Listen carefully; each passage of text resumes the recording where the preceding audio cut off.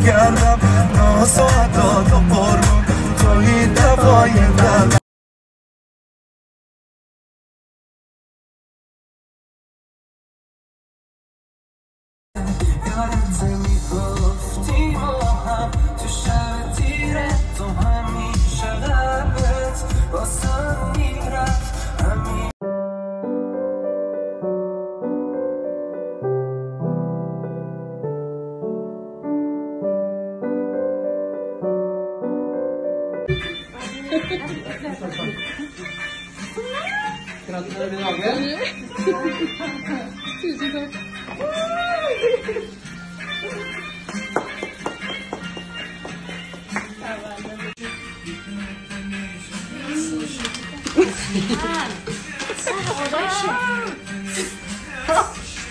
Check it out.